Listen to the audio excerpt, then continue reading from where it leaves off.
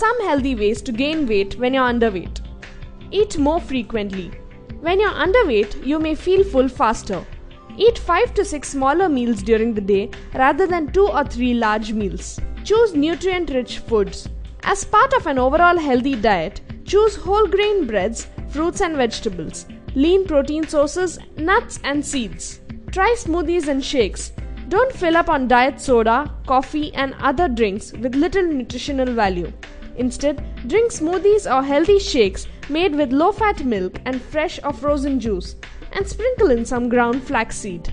Add in calorie dense snacks. Snack on nuts, peanut butter, cheese, dried fruits, and avocados. Have a bedtime snacks such as peanut butter and jelly sandwich or a wrap sandwich with avocado, sliced vegetables, meat, and cheese. Try these tricks to gain some weight healthily.